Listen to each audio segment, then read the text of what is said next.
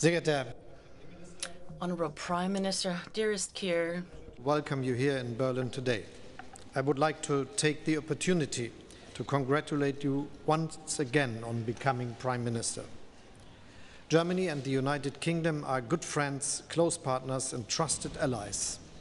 The both of us will be working hard to ensure that this relationship will continue to thrive.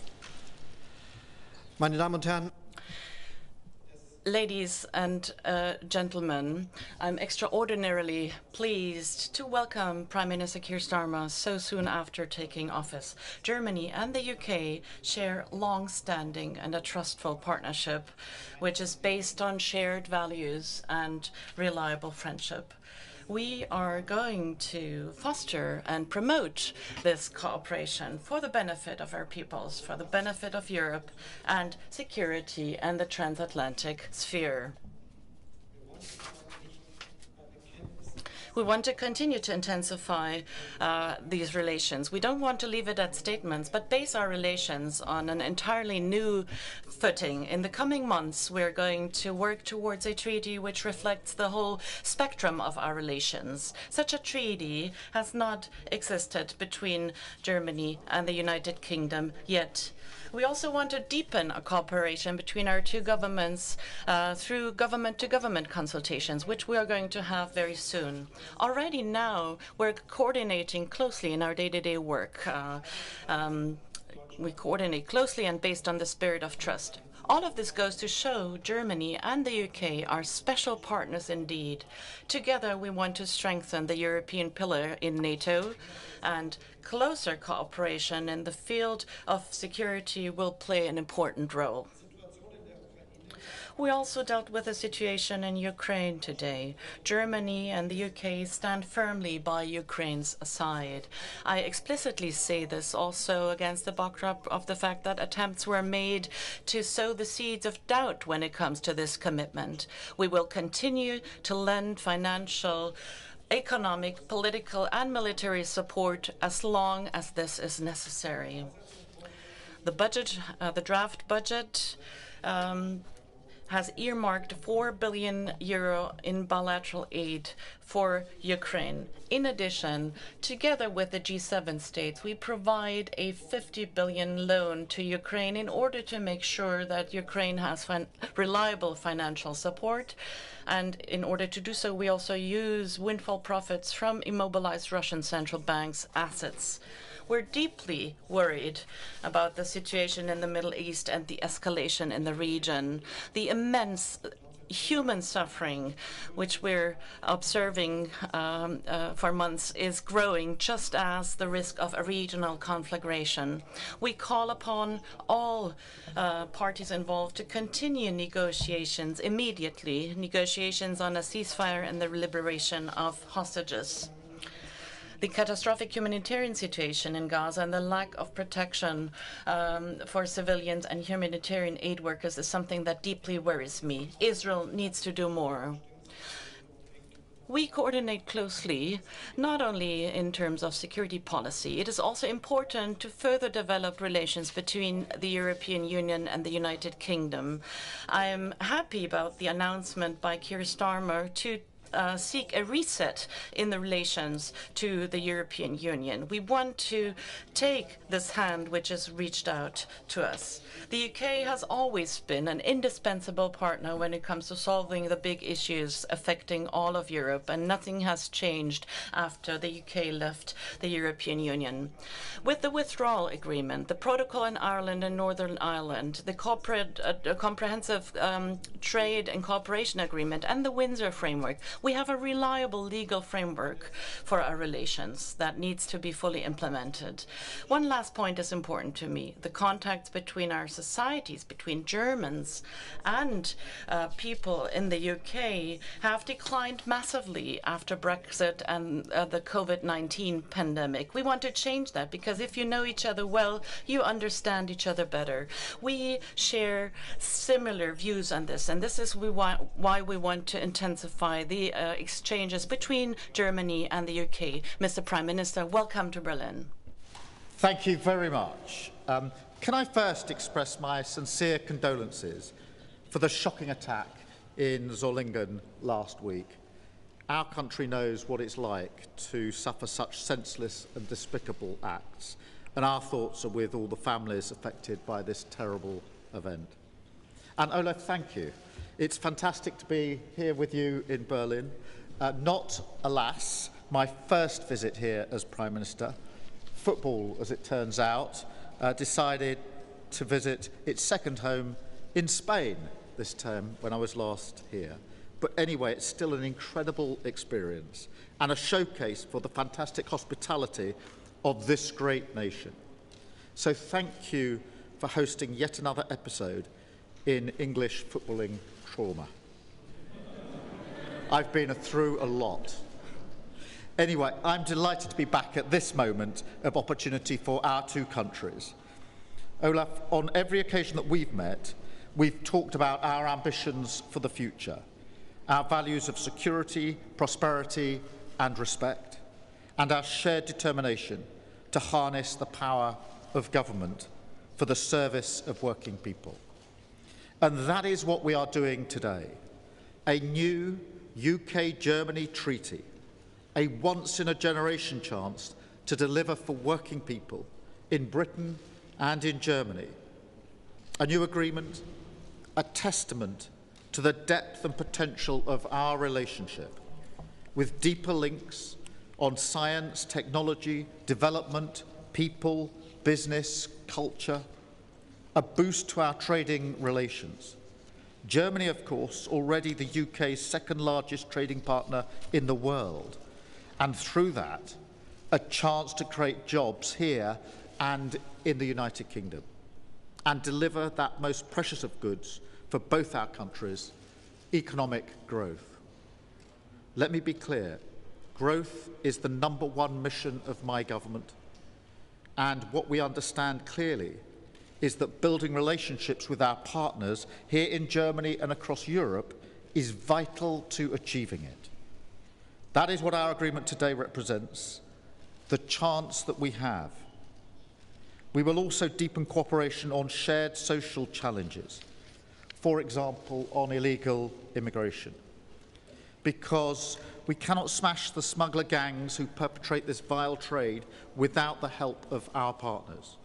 And I'm really glad that we had substantive discussions today about how we tackle the smuggling gangs and agreed to develop a joint action plan to tackle illegal migration. We will also renew our commitment to the Calais Group, enhance our intelligence sharing on organised immigration crime, but also increase collaboration on tackling climate change, an important goal for the planet, of course, for greater energy security, but also for tackling the drivers of challenges like illegal migration at source. And finally, at the heart of this treaty will be a new defence agreement an agreement that builds upon our already formidable defence cooperation, but which expands that relationship to face the threats of a volatile world together. That, of course, means a shared resolve to stand up for the security of our people and the wider European continent. And that begins with our unyielding support for Ukraine. And we discussed that in some detail today because as Europe's largest contributors to Ukraine's war efforts, and as the nations with the highest defence expenditure among the European countries in NATO, we know only too well the debt we owe to the Ukrainian people, who fight not just to defend themselves, but for the people and all the people across Europe. So today, we affirmed our commitment to stand with Ukraine for as long as it takes. We also share a common commitment to resolve the crisis in the Middle East, as you've just referenced. And we agree on Israel's right to self-defense in compliance with international humanitarian law, the need for de-escalation across the region and for restraint and caution to be exercised, unfettered humanitarian access into Gaza, agreement to a ceasefire and release of all hostages, and the importance of working together towards a political solution. based on the creation of a Palestinian state alongside a safe and secure Israel. The only way to provide long term peace and security for both Israelis and Palestinians. Now, that, of course, is not an easy goal, but it is one that we are committed to pursuing together because, as today shows, Britain can advance its interests much more effectively when we stand with our friends and partners. This treaty is part of a wider reset, grounded in a new spirit of cooperation, with our shared understanding that this will be developed at pace and that we hope to have agreed it by the end of the year.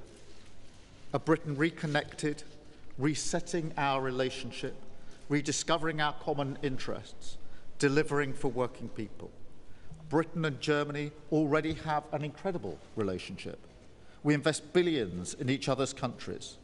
Thousands and thousands of jobs are supported through trade. And every year, millions of people travel between our two countries, exchanging ideas, collaborating, creating, and connecting. But today, we build on that. A bright new future for UK German relations. Two great countries brought closer together than ever before, the strongest strategic partners in Europe and on the world stage. Thank you so much for hosting us here today. Thank you.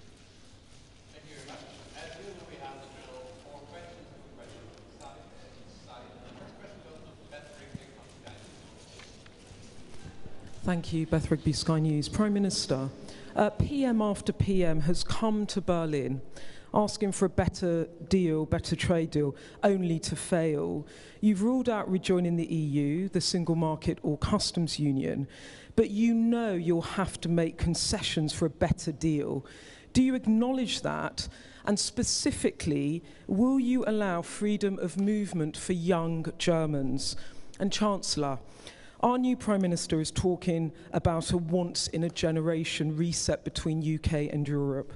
But does Berlin and your partners in Brussels have real appetite for the reset the Prime Minister is pledging? Can the UK really expect to cherry pick better trade terms outside of the European Union?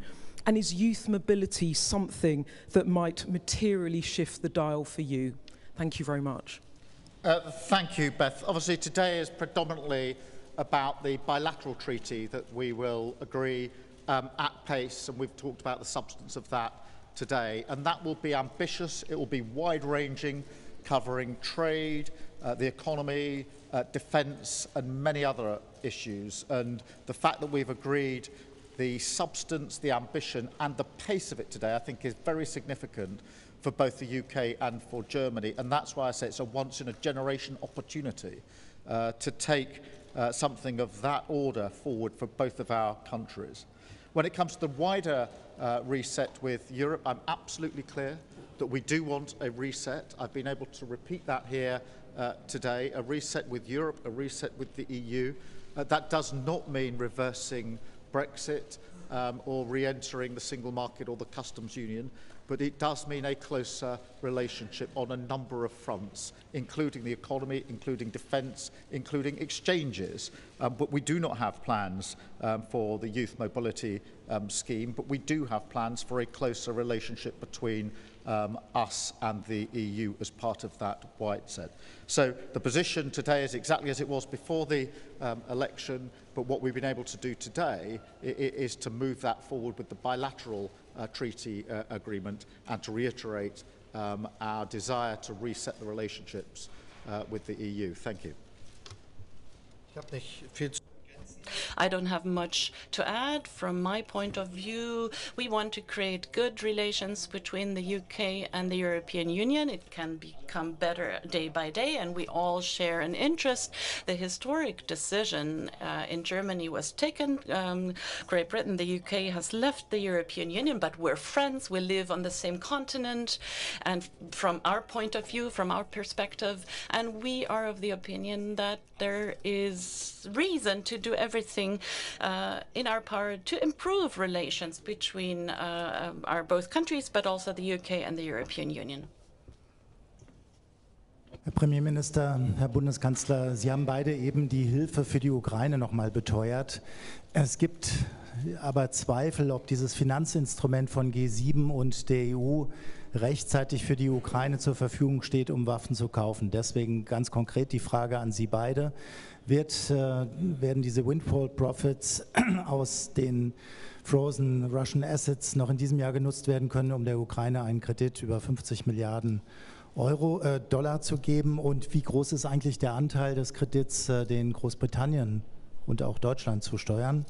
And Prime Minister, uh, second question for you. Uh, Germany will deploy American mid-range weapons from 2026 onwards. Uh, till Germany, France, and Britain have developed own capacities in this field. How do you bridge the capability gap in this field, also with American weapons? Thank you. I will start. Okay. Es ist so, dass wir uns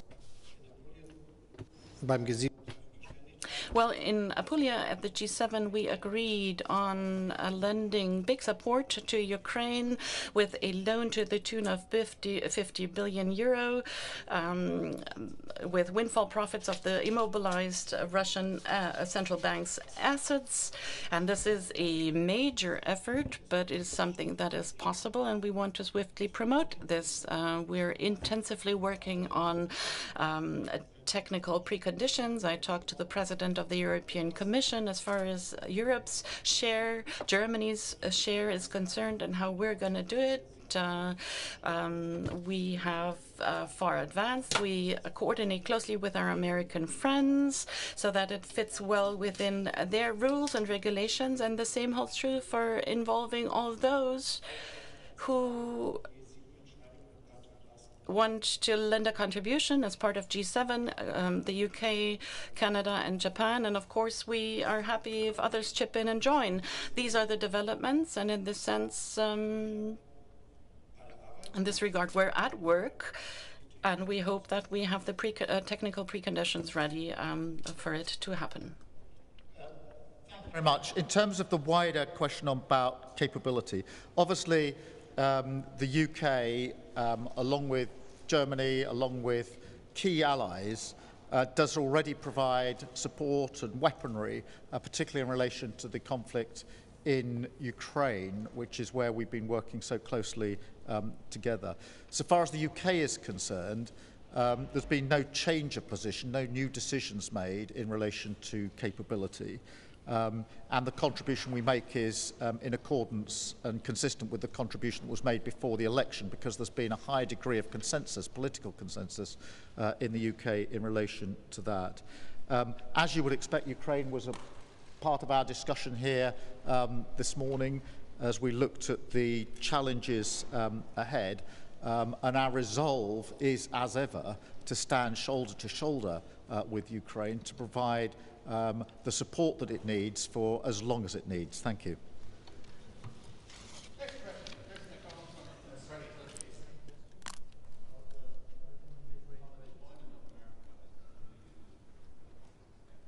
Well, look, I mean, I'm not sure there's much um, I can uh, add to what the Chancellor already said. Uh, thank you, Chris McKeon, Press Association. Um, following on on the subject of Ukraine and weapons and long-range weapons, uh, firstly, Prime Minister, is it the case that it is American objections that are preventing the uh, use of Storm Shadow missiles to target, uh, to hit targets in Russia? And what discussions have you had with the Chancellor on lifting restrictions on the use of weapons in Russia? And uh, Chancellor, uh, is now the time to consider lifting restrictions on the use of German-supplied weapons against Russian targets, particularly uh, supplying F-16 jets and the Taurus missiles? Uh, let me uh, just uh, address that. O obviously, and as you know, we have been providing support and weaponry uh, to Ukraine consistent with the approach of other key allies, including Germany. Um, we supported the approach and the framework um, put forward by the previous government in the United Kingdom when we were in opposition, um, and we are acting consistently with that in government, and that's why I'm very clear that no new or different decisions have been um, made. I'm not going to get into um, tactical questions about the use of weapons for very obvious um, reasons, but no new decisions have been taken.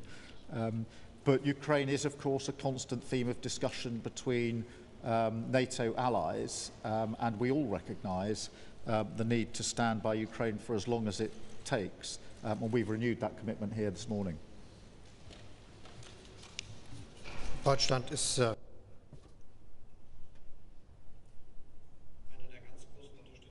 Germany is one of the very large supporters uh, of Ukraine in Europe. Within Europe, we are the largest contributor. We're continue going to continue this support, and uh, this support is uh, bolstered and added by the 50 billion loan that we pre prepared as G7, and we're intensively working on realizing this. As far as weapon supplies uh, concerned, there are new, no new decisions from Germany.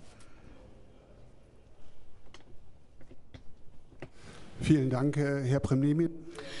Thank you very much, Prime Minister. The knife stabbing attacks in Solingen have led to a debate in Germany as to how to uh, limit irregular um, uh, migration. You just announced that uh, there will be a new action plan between the UK and Germany on this topic. Which tangible measures are contained in this action plan? And Prime Minister, what are the recommendations uh, to the Chancellor based on your own experiences in dealing with knife stabbing attacks in uh, um, Solingen? And Mr. Chancellor, the opposition leader Friedrich Merz offered to support laws, draft bills without the support of your coalition partners. This would infringe upon the coalition treaty.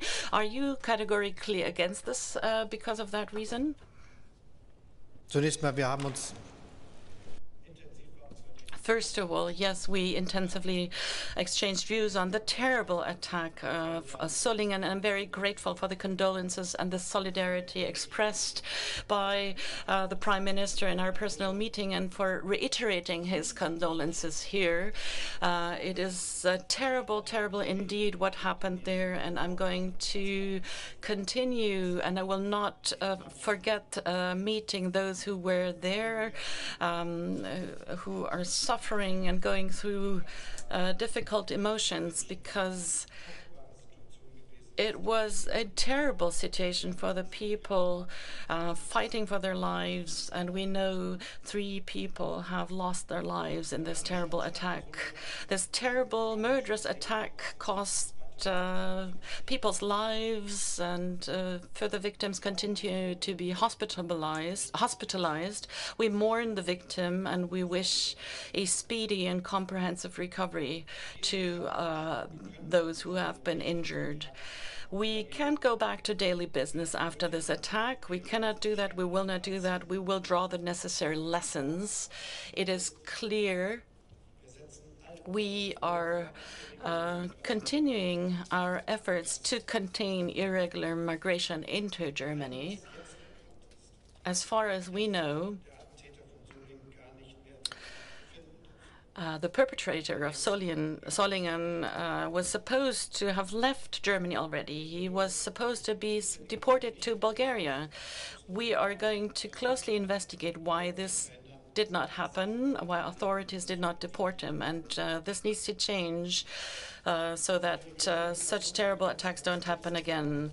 In order to contain irregular migration, the government, in cooperation with the federal states, um, and the Bundesrat and the Bundestag has um, passed measures in the past 12 months, a law on deportation, which has removed legal and bureaucratic obstacles that lends, uh, assists authorities in deporting perpetrators. The police now has more authorities to uh, search and look for um, uh, people who are to be deported, and uh, persons can be detained longer, and asylum seekers receive a reduced amount of support. At the same time, we massively expanded controls and border checks, and we will continue to um, do so as long as it is possible. All of these uh, decisions show uh, effects.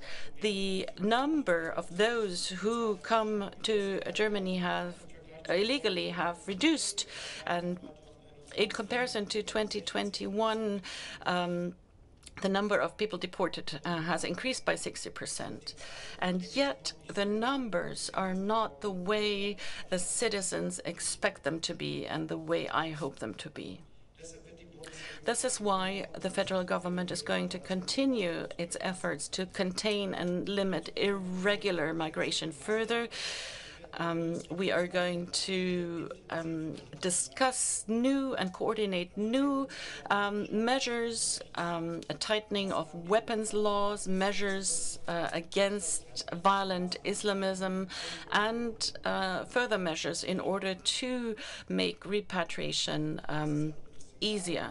Um, it is a good signal when the largest uh, opposition party signals its cooperation and the willingness to cooperate, and we welcome this willingness to cooperate with us.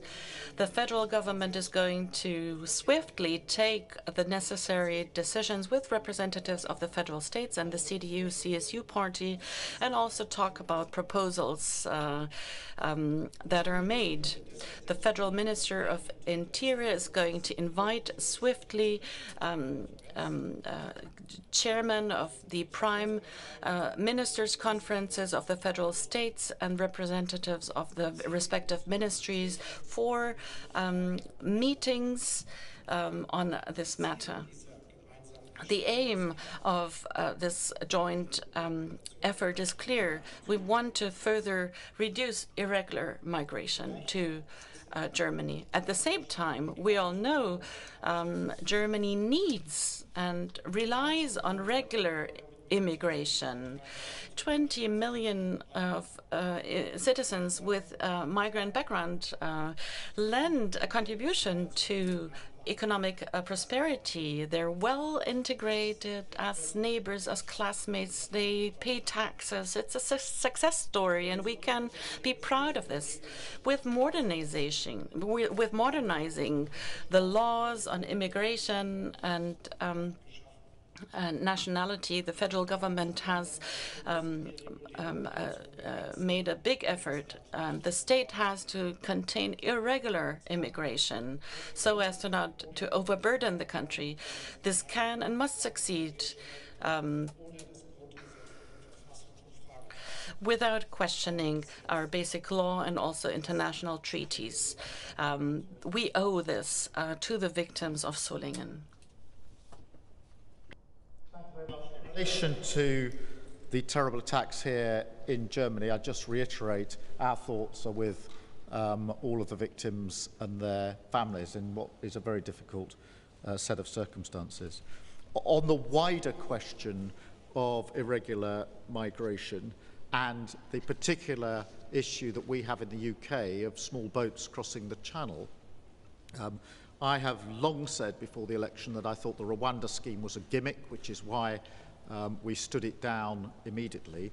But nonetheless, it is very important that we take back control of our borders. Um, I have long been convinced that the best way, the most effective way to do that is to take down the gangs that are running the vile trade uh, of putting people in dangerous situations uh, across Europe and across the Channel. Um, and I said before the election that I would invest political capital in making sure we could work more effectively with our partners in taking down those gangs. And that's why I'm very pleased today uh, that we've had a substantive discussion, um, agreed to a joint action plan, um, and that will, as you would expect, um, deal with issues like data sharing, intelligence sharing, what we can do on joint um, operations, because that is the way uh, to take effective action in relation to the vile trade that sits beneath um, irregular migration across Europe and in particular sits beneath uh, the vile trade of putting people into small boats across the channel. Thank you.